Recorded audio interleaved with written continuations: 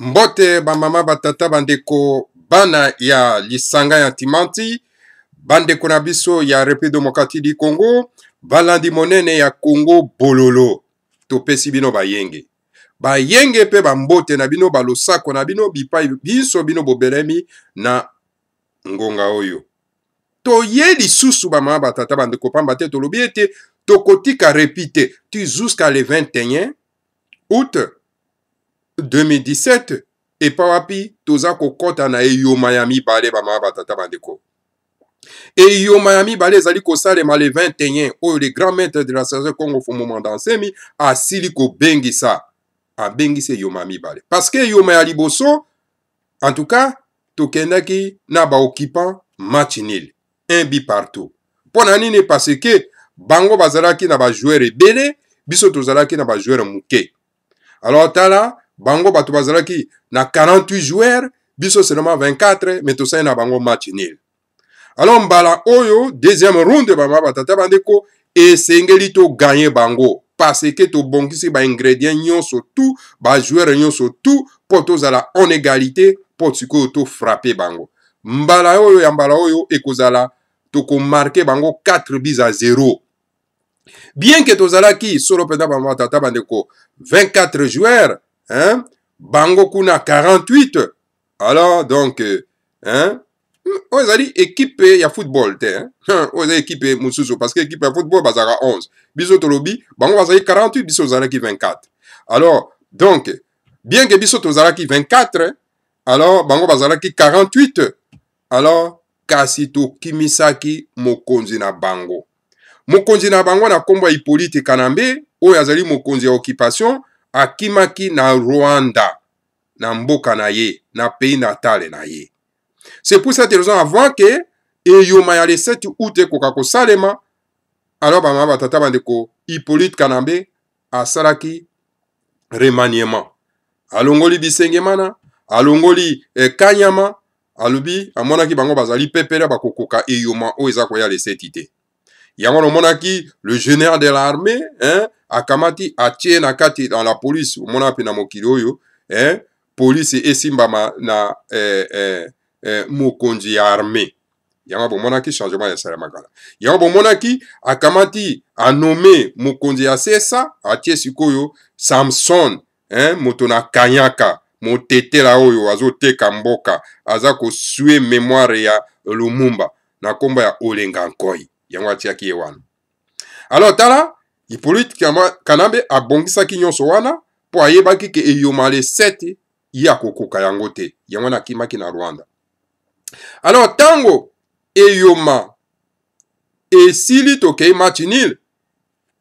bato oyo si okitundu eh, eh, samson olenga nkoi eh, mokonzi ya polisi oyo rwandais wana eh, eh, eh, eh, boyebi oyo baremplaçaki wana boyebi nkombo na ye alors eh, eh, nani oyo eh, atundu oyo mongala corrompi moyibi alors tala epa wapi bango baye kobenga hippolite kanambe alobi zonga tozwi makambo nyonso tu na controle na biso alors hippolyte kanambe azongaki mais sinon hippolyte kanambe asilaki na ye kokende alors na eyoma oyo ya le 21 bamama batata bandeko toyei kocomprendre ke non le yoma le 7 soki hippolyte kanambe azongaki parce toyokaki mawa na bandeko na biso oyo bazali bacongolais oyo baza kolia na supu na diable na satana oyo tobengi hippolyte kanambe alors bango nde sikoyo bazali bapilie bapoto oyo ezali kotelemisa mopaya oyo mpo oke akoba konyokolo bandeko na biso atia bango na bafausse commune bomoni bafausse commune na kasai bomoni bafausse commune na kinshasa bomoni bafausse commune na equateur na equateur kutu eza kokantimini ezosalema kuna parce que na equateur epai ya bangala na bamongo baza na bango na lidere te leader oyo ako défendre ba intérêt euh, vitaux na bango aza te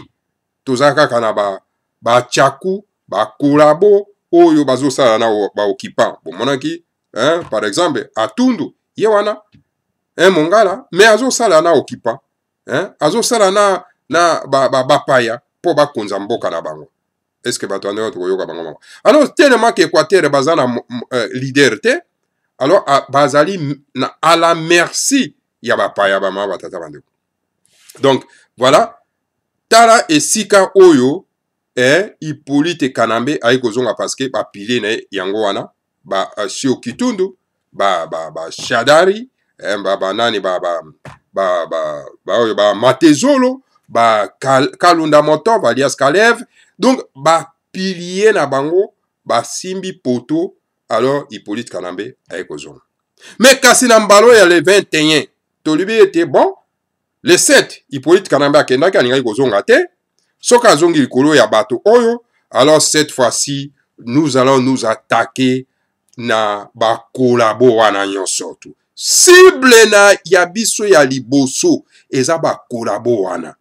Tokosilana na bango. Parce que le collabo balobi bakolabo batraitre batambolaka toujours na libulu na bango na pembeni. alors parce que bakolabo wana soki bazwi bino babundeli bakoyoka bino mawa te alors c'est pour cette raison biso mpe le 21 août le lundi 21 août na 9 heure ntango toza kobima cible na biso ya liboso eza bakolabo wana alors qui vivra euh, verra bamende bango wana basible batiaku oyo baza koyembela bapaya na kati ya mboka sible na biso ya liboso yango wana alors yango wana bamama batata bandeko bana ya mboka soki réellement boza na besoin mabele na bino ekangolama soki bolingi mabele wana alors tala ngonga esi epesameli bino mpo na kotelema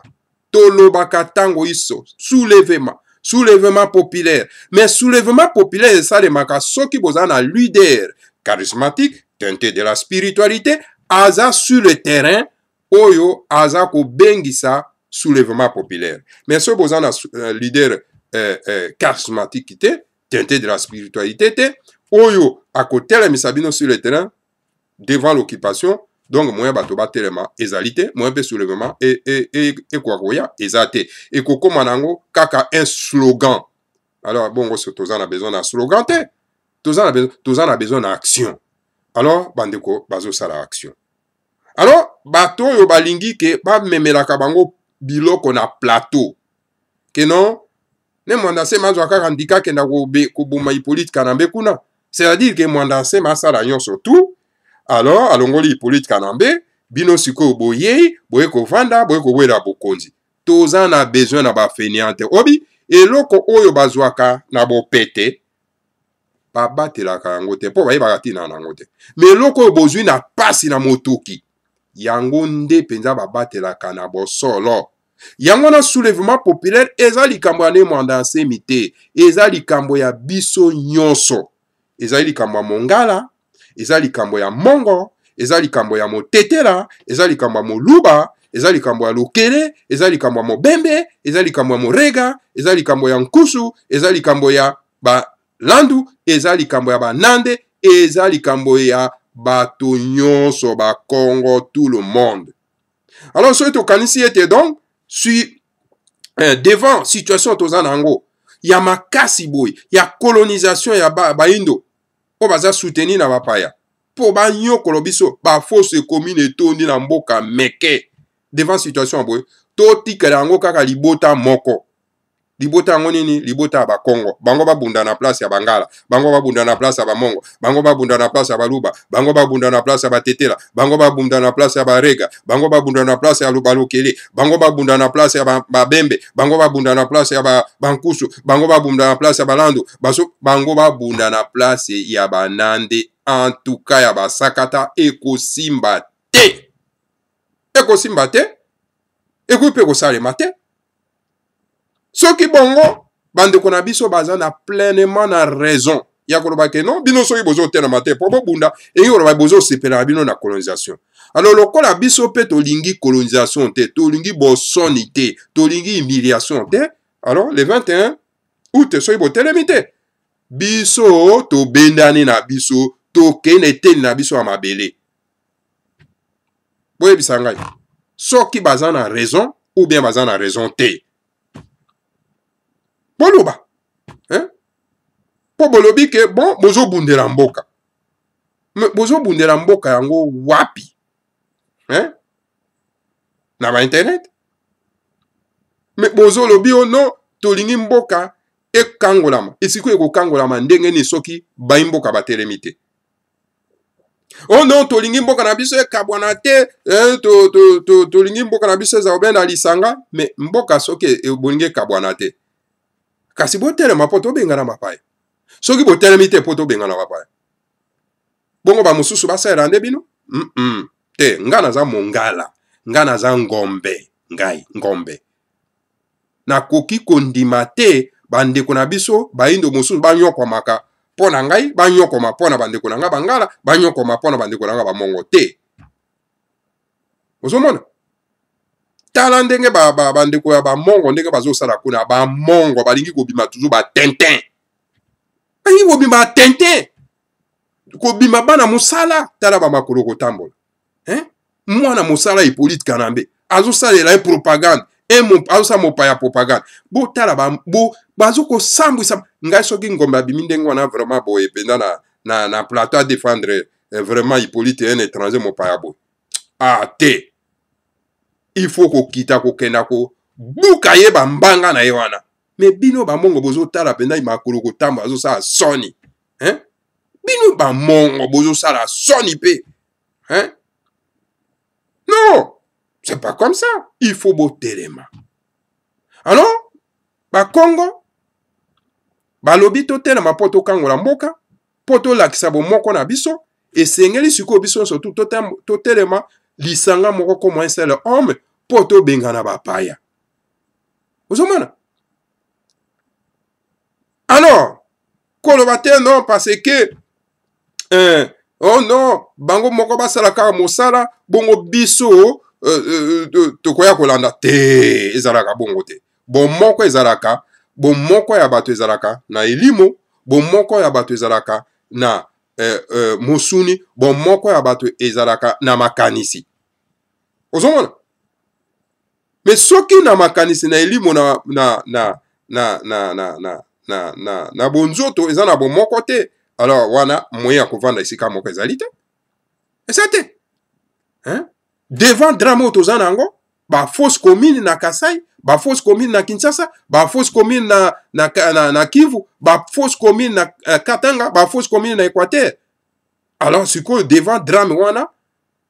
un leader atelemi apesi bon d'ordre ke totelema mpo tobengana bato oyo bazonyokola biso bofandi nye te te te te te bomoko ezali te bomoko ezali ya slogan tolingi slogan ya lokuta creux slogan creux te ya bomoko pendant ke pendant ke toza na bomoko te tala bandeko na biso baluba bango wana bango wana bazosala na ipolite kanambe tala ndenge azochange bango et pourtant na kasai bokenda kotala na kasai ndenge bafausse commune eza kuna hein? botala nde babomi bandeko na bango lider politike na bango nini akei kuna mpo akenda kotala ndenge bafausse commune ezali ndenge bandeko bakimi na uh, eh, barefugie kuna na, na, na angola moko te akei ezala meme tilombo oyo un leader politique akenda kotala bandeko na ye bakimi kuna na, eh, na mboka oyo na, na angola babengani bango na mabele na bango akenda kotala mpo aproteste eloko te ye aza kosenga toujours primature epai ya hippolyte kanambe mopaya estce yo olingi bandeko na na olingi bango te me tozala baaveugle te tozala bafanatike aveugle te fo tozala bato oyo bazobundela na bosolo na sincerité na bosembo ozomona alors quand on parle de soulèvement populaire elingi koloba ni parce que mboka ezali okipe alors il faut se soulever mpo na kose débarrasser na bapaya est-ce que bozo bozoyoka yango mpasi te bozo, bozo souffrir te moralement physiquement hein? spirituellement bozo souffrir te bomonaka drame ya bandeko tala bapaster ya ya binzamizambi ya ba secte me mosengo botala na bandeko mosengo oyo azali mokonzi ya secte katolike azotelema te mpo atelemisa bato aakompagne appel ya ya uh, soulèvement populaire oyo ne mondanseme apesi hein? Eh, ne mwanda nsema azali mokonzi ya bundudi ya congo oyo ezali une religion écologique ya, ya des anciens sémites noirs me ye atelemi mpo na kotelemisa bato devant drame oyo eza liboso na biso mpo na ete ekoka kosila me ndenge nini yo olobi yo mosengo yo olobi ozali mokonzi ya lingomba moko songolo hein? oza koakompagne maloba ya mfumu mwanda nsemi te mpo otelemisa bandeko na biso oyo okangi bango na otage kuna oyo ozobinisaka bango malinga ya, ya, ya, ya pambala pambala tomoni bamalinga ndenge oza kobimisa bango ozokomisa bandeko na biso bolole parce que spiritualité oyo ozala na yango wana ezali ya bapaya ezali ya biso te eza ya biso te c'est pour cette raison ozokoka kotelemisa bandeko te hein? devant drame ya bandeko boye yo ovandi mpenza calme ozotelemisa bandeko te mpo te drame wana ekoka kosila bino bato na senko mais vous êtes des traîtres boza batraitre parce que vraiment soki mpenza boza na souci ya bandeko wana bolingaka bandeko wana bokosala nini bokotelemisa bandeko mpo na soulèvement populaire boyebi bino moko consciencieusement ke moto oyo aza kokonza mboka wana aza mopaya epuis abomi bandeko bozomona bafausse commune partout bovandi na bino parce bozolia malamu na, ba, na, na, na bandako na bino bozolata malamu parce ke bozali na kati ya spiritualité ya bapaya bozali commande par le vatican alors bozotika drame ya bandeko ndenge wana me boza, me, bo, boza plus que les animaux meme balio na kati na zamba baprotegeaka uh, bana na bango bakenda kobomaka baantilope mpo balesa bana na bango me bino boza plus que les animaux hein? devant drame ya bandeko ndenge tozomona mokili mobima ezoloba likambo ya mokonzi oyo aza na moto ya mboka tomoni badepute européen balobi yake aza mopaya batiaki ye wana mpo abrade mabele na bino me bino bozo brose me pa emo bokenda na pe ya baarabe les imam denonce la donc la souffrance ya peuple na bango badenosaka yango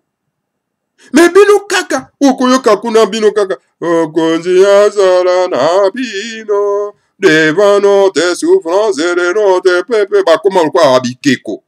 ça va pas là comme ça dit babiloko oyo eza korepondre na spiritualité na biso te na congo ya sika ifo ebima ebima na mboka na parce que ce sont des traîtres ils travaillent pour les étrangers et non pour le peuple ta peuple ndenge akomi sosifie hein? tala mboka ndenge ekomi poubele solo bino boyokaka solo wana te bien ke botambolaka na baimousine na bino ntango bino botambolaka bomisaka bilongi boyokaka solo te yo mosengo na basenko yo marini hein? non tokoloba meme babinzambi nzambi te basekte wana te donc tokoloba meme pa hein? mvuluz kimbangu azalaki moto ya spiritualité bomoni ndenge akombataki l'occupation belge hein? jusqu'à ce que akendaki na prison na, euh, euh, na, na, na, na, na lubumbashi na katanga mpo na kodefendre cause ya biso baindo me tala bino tala bankusu les aventuriers hein? un aventurier de premier rang hein? azokenda kokolabore na mopaya alobi yo non wana azali président ya bilaka oyo mvulus kimbangu apesaki alors donc il faut kometenir ye afanda wana hein? oh non nous sommes contre les occidentaux eh, parce que baza koimpose biso badirigeant mais hippolyte kanamba azali wana nani atiaki ye ce ne sont pas les occidentaux hein? mindele te bato batiaki ye wana sikoyo yo okozala contre baoccidentaux ndenge na pendant ke yo ozala kosoutenir mopaya oyo aza na kati na moto na mboka oyo aye kokonza biso non nkusu ti fait la honte la honte alors donc yo mbano na yo ekoya mbano alors cette fois-ci meka kokimisa mbano na yo wana eza kozela yo bimisa bato na yo ya vuvamo oyo okotisi bango na monyololo bimisa bango le 21 août soulèvement populaire mpo na kobengana bapaya voilà alors bamama batata bandeko bana lisanga antimanti lelo toye lisusu tolobela likambo ya monisco avant tolobela likambo ya monisco il faut boyeba soulèvement populaire oyo tokosala ndenge nautaki koloba tokosatake nano na bato bazali baenemi na biso topesi bino exemple wana bashadari ba kalunda motov ba mende ba matezolo ba basangana fils ba azola tous ces bêtises ya bato wana il faut kotokwa s'attaquer nano na bango place bazali première cible yango wana kosatake na bango les ennemis ya terre ancestrale faut kosatake na bango mpo na bino mpe combattant bolobi boza ba combattant oyo oza ba résistant me boni boni bozo piétine hein? bozokenda nde na bacritique hein? olie bose mettre au travail parce que ce qu'on cherchait c'est-à-dire avoir une personne sur le terrain oyo azali fort sans père sans crainte il faut ozalaka il faut bozala na dirigeant oyo aza makasi oyo abangaka te oyo alobaka le front parler fumu mwanda nsemi ye wana aza koloba sur le terrain aza koganga sur le terrain sikoyo bino bokomi kopietine ndenge nini bozozela nini euh, ifa moto oyo akoki koloba kuna ifa azala christianise me christianise akoloba te omoni mosengo te azoloba aza mokonzi ya eglize eh, secte dayas epai na eglize secte catholique na kati ya congo hein? yo mwana azoloba siko bino bolingi nana alobela bino mpo bokoka kotelema non bandeko botelema botika ba, ba, ba, ba, ba, ba, ba, babetise na bino wana botelema ngonga kotelema ekoki ya koloba liloba moko liloba pamba eza na nguya tolobi te okenda sur le terrain parce que oza 8000 km mais liloba na otindi na bavideo awa ekomi sur le terrain ekomi nguya ekomi nguya eh? me soki boza kopatapata boza kotatabana boza mm, kotambola de gauche à droite donc bolingi eloko bolingi te boyebi eloko bolingi te boyebi eloko bolingi te alors soki bolingi liberation maloba ezala na bomoko bato bamona ke non moto oyo aza koloba na états-unis na moto oyo azala koloba na europe baza na liloba moko moto oyo azoloba na australie na moto oyo aza koloba na canada baza na liloba moko moto oyo azoloba na eh, camp town na moto oyo aza koloba na kati na rdc baza na liloba moko voilà mboka ekangolami mais soki divergence ya maloba moyen te ekosimba te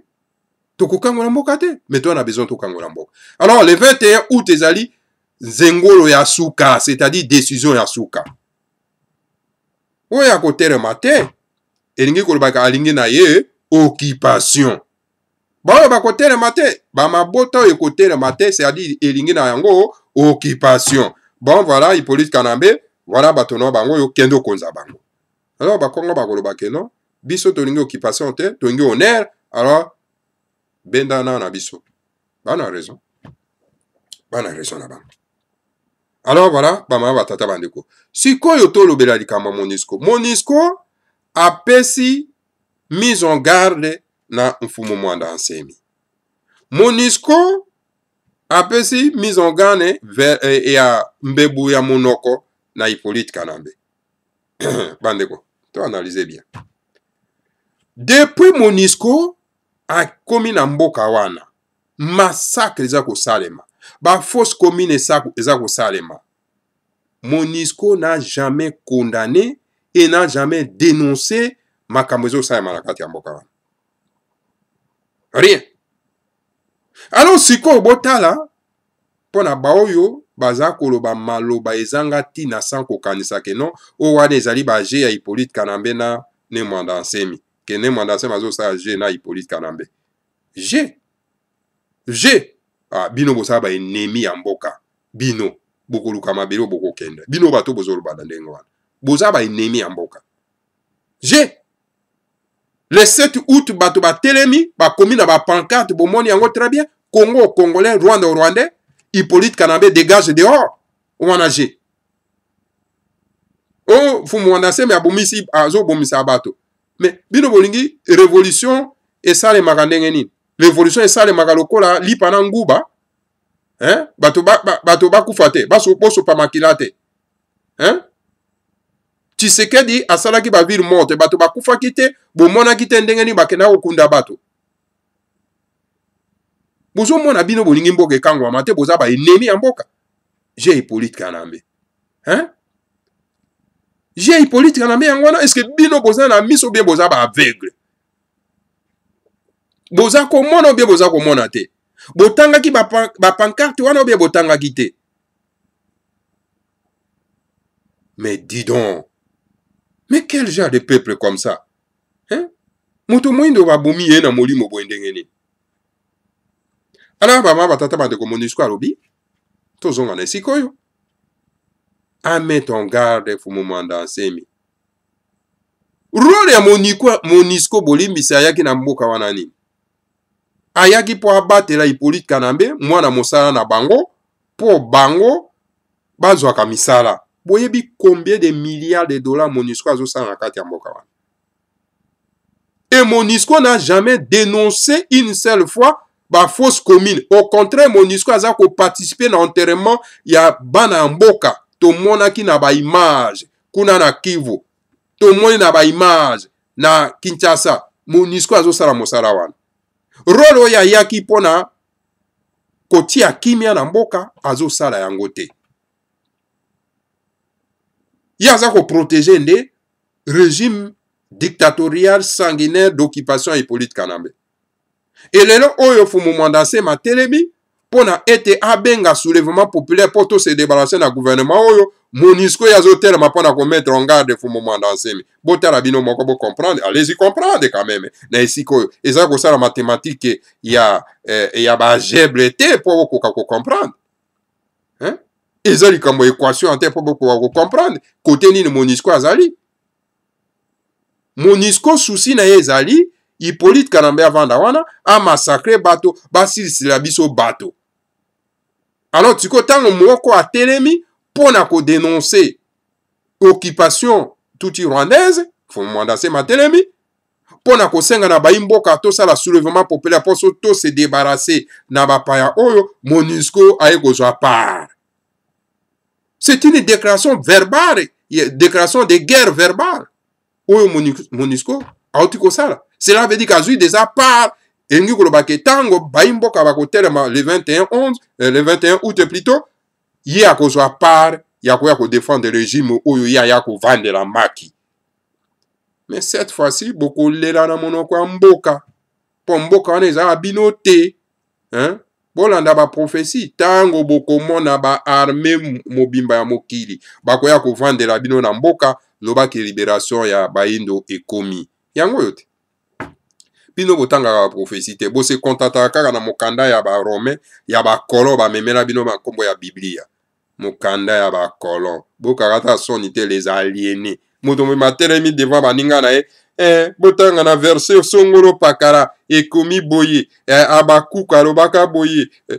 des bêtises comme ça hein? les nègres les nègres qui n'ont pas la tête vous êtes des nègres hein? vous êtes des nègres koma yo moto omema okotelema mpo otangela bato makomi ya bato mosusu hein? quel genre de nègre comme ça makomi ekolalisa bino pongi oyo ekolamusa bino te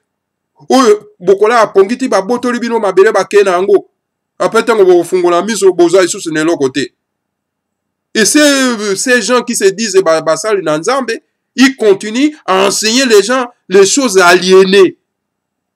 est ce qu'on a besoin de, de la bible romaine na kati ya mabele wana oyo elalisi bato pongi jusqu'à ce que bokomi babitula bokomi baparese ba bozokoka kosalela mboka na bino te mpo ete bokoka kovanda malamu na mboka na bino est ce qu'on a besoin de ça alors bandeko boye bango malamu bandeko oyo baza kotangelaka bino bamakomi ya bapaya wana baza baenemi na bino na kongo ya sika tokosokipe na bango parce que bazolalisa bino pongi pendant qu'on appelle le soulèvement populaire bango bazokanga bandeko na biso na kati ya ba ya babiteyolo na bango na kati ya bamangomba na bango bazokanga bato bovanda ata osambela elonge mane ya ciel ekokweya liberation ekouta na ciel ekwei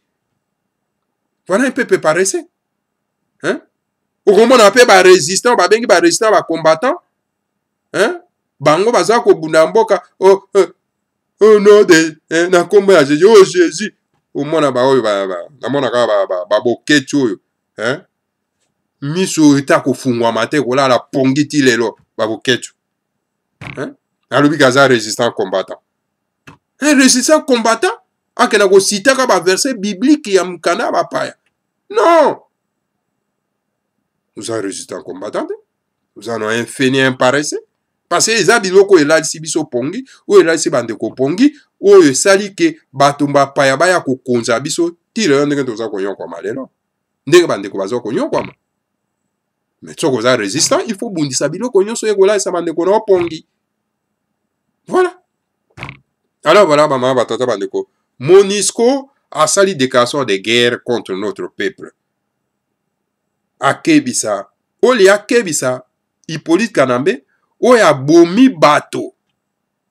eh? atie bango na fausse commune ole akebisa Hippolyte Kanambe a soutenir Mfumu Mwanda Nsemi na démarche na ye ya kosenga soulèvement populaire mpo tosilana na bato oyo de façon ke tozala biso nyonso tranquille monisco ya zwi nde pare ya baoccupant alors je vous, je, je vous prends à témoin bandeko mpo bino boyebi te je vous prends témoin botala bino moko kote monisco azali bokocomprendre ke a ah, monisco ayaki mpo na biso te ayaki nde mpo na bapaya wana mama batata bandeko bana esanga timanti donc tala esika wapi vraiment mokili mobimba contre biso alors donc esengeli tokɔta na nzela ya bakoko na biso mpo tobenga pouvoir ya bakoko mpo ete esunga biso na bitumba oyo eza makasi mpo na biso alors yango wana moto oyo aye koinitie mpo ete tolongwa na mpasi oyo moko kaka fumu mwanda nsemi baoyo baza kofinga fumu mwanda nsemi baoyo baza koloba mabe ya fumu mwanda nsemi baza bakolabo bakolabo oyo mfumu mwana nsemi asalaki na guvernema wana eh? asalaki natuna bino awa bopesa ngai poste ministeriel oyo mfumu mwanda nsemi asalaki na guvernema hipolite kanambe moko te apesaki ngai ti lelo oyo oh, azalaki parlementaire mais parlementaire on le nomme pas par un gouvernement par un président un parlementaire c'est un élu du peuple ye azalaki eli asali campagne azali eli akoti na kati ya parlement me kasi eloko boza kobosana ete nyama oyo aliyaka lisangu azalaka libanda te azalaka na kati ya lisangu ifo ozala wana na parlema wana otala banani oyo bazali baenemi na yo oyo balingi mboka te mais fumu mwanda asema azalaki na kati ya parlement wana ayebi sikoyo yango wana alobaka chaque fois ke nous n'avons pas de politiciens dans ces pays nous avons que les politicaires mpo na nini parce que azalaki na kati ya parlement aye kotala ti bango nyonso tu bakipanga nzala tout ce monde là est ce que vraiment moto babengi bino mpe bacongolais so il faut koelie badepute moto mpenza azali mpenza moto akokenda kokenda kotia bulletin na ye mpo akenda kopona moto lokola kovo ingila botala, botala kovo ingila quand il parle ozomona vraiment que non un véritable idiot de première qualité permettez-moi naespi naloba bosembo hein? moto ya ndenge wana mpenza bosante ke ozoyoka ata ozotala ata cohérence na maloba na ye te Hein? Vous sentez même que c'est un homme de la rue. Hein? moto ya ndenge wana okei mpe otye ebilite mpo na kovote moto ya ndenge wana hein? elingi koloba nini elingi koloba ke bolingi na bino zoba aya kodirige bino aya korepresente bino na kati ya parlement inkovo ingira hein? bolanda ye maloba na ye ndenge alobaka cohérence eza te ozomona ke vraiment ke non ya un vide hein? ya un vide na kati na ye et des gens comme ça bozokenda kovote yango wana donc heure moko bolingi mpe mpasi ekoma na bino bino moko mais il faut kosala le choix des bons choix quelqu'un qui n'a même pas la spiritualité quelqu'un qui n'a même pas la sagesse aza na bomoto te bato ya ndenge wana baza combien bato lokola bakoboyingila baza combien na kati ya kongo wana oyo bino bokenda kopesa bango botiaka bulletin mpo bovote baza combien comme ça vous trouvez beaucoup yango na lelo tosengi na balidere nyonso ya baparti politike bosuivre mot d'ordre oyo fumu mwanda asema apesi balidere politike ya bamabota nyonso moke ya yo ozali leader olobi ozali leader ya soki ya parti politiki na yo kasi esika oyo outi ezali bumba na equateur oza mongala alors telema yebisa na bato na yo bandeko na yo batelema mpo na le 21 août 2017 mpo tobengana mopaya un leader azali moto oyo abangaka te soki yo leader oza kobanga alors bongo ntina wana kozala leadership eza nini o na, eh, na koloba occupation te eh, na koloba makambo ya soulevement te eh, ozo kobanga alors ntina wana kozala leader nini non vanda no lia kwanga na yo lia ngolo na yo lia susu na yo lia monganza na yo vanda na ndako sala commerce na yo ndeko mokia soki okoloba te vanda na ndako ozali un faux leader un leader c'est celui là oyo asimbaka mopanga mpo na ete alongola matiti ya mabe liboso na ye oyo ezali kobebisa lopango na ye eza kobebisa nde bandeko na ye wana ye leader e leader eza te kaka azoloba ka blablablabla me makambo ya verité azoloba yango te makambo ya solo azoloba te tozoloba soulèvement populaire alors soki ozali leader telemisa bato temisa bangala yango tosengi na mabota nyonso chacun na kwe na ye atelemisa mabota na ye bangala botelema bamongo botelema baluba ba, ba, ba, ba oloba na balidere na bino batelemisa bino batetela babembe namonaki oyo nani oyo mama bazaiba ye azoloba na bato nde kuna na, na boyoma keno bokenda kosonrole me tala distraction bamama ya ndenge oyo baza toujours na kati ya distraction et pourtant ayebi très bien ke baélection ezali te mpe baélection bakenda yango na mopaya te tosengi na yo mama bazali baloba na bandeko na boyoma basala batelema mpo na soulèvement populaire de 21 makambo ya koyebisa bango bakenda kosenrole mpo na baélection te élection ezali te parce que le cinquième président na prophétie ya vulus kimbango ezali telemisa bandeko mpo na soulèvement populaire parce que kongo ya sika eza koya tika distraction wana alors voilà mama batata bandeko bana lisanga timanti oyo ezalaki maloba toyei kopesa bino na après midi oyo alors donc euh, tosengi na bino bopartage message na bandeko na biso banso totelema soki bobi ke bo, to, toza na bomoko bomoko na biso elingi koloba ke soki moko apesi mot d'ordre mpo na likambo oyo etali soulèvement populaire esengeli tosuivre wana nde elingi kolakisa bomoko alors soki botelemi te bovandi elingi koloba bomoko ezali te alors bato na bato bakokenda na ndako na bango toza na baporte boyeba ndenge rdc ekelamaki hein? rdc bakoko na biso te bato batikaki yango eh. rdc ezali produit ya bakolo eh. basangisakisi biso na makasi eh. bobosana yango te alors soki tolongi to maintenir l'unité oyo esengeli tozala na bomoko devant drame oyo toza na yango ntango bazoboma bandeko na biso ya bamakesa bazoboma bandeko na biso ya bakongo esengeli tosala solidarité na bango c'est-à-dire totelema comme un seul homme mpo na kolongola bato oyo baza konyokola biso bandeko ntango baza koboma baluba esengeli totelema biso nyonso comme un seul homme mpo na kodefendre bandeko na biso ya baluba